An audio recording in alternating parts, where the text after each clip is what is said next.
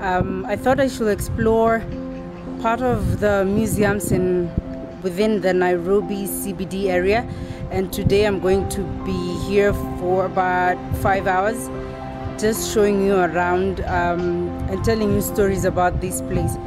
Uh, the Railway Museum was opened in 1970. I have researched about this place by the way, but I'll tell you more when I get inside the gallery, the museum gallery itself.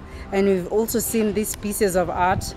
They're the best I've seen so far, and I didn't expect to see this at a railway museum. Oh God, like how? You have to first of all go to the reception over here and pay some amount of money for you to be able to go around and see what the museum has to offer.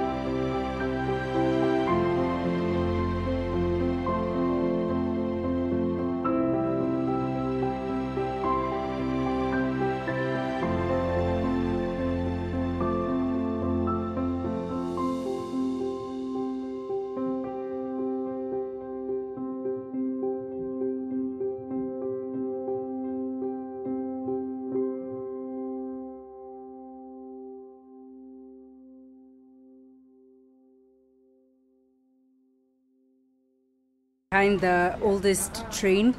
So it's called number 2301 and it starred in a movie called Out of Africa that featured a lady whose name is Karen Blixen.